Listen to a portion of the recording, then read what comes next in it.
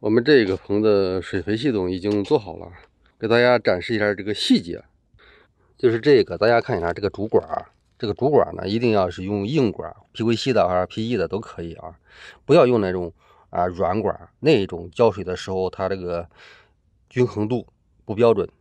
有朋友说这个硬管怎么去连接这个机关管？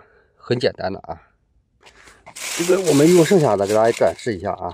这个就是蓬头阀，这个和我们平时用软管做的不一样啊。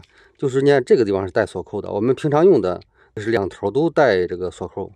这个带锁扣的呢，就是接我们这个滴管管的，或者叫滴灌带，是接这个的。那么另外一端，这个不带锁扣的这一端，这个呢是要通过开孔器，在我们这个主管上开孔。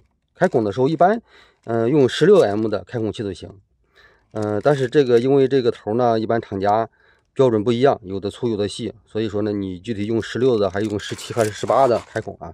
这个一定要和厂家沟通好，这个标准不一样。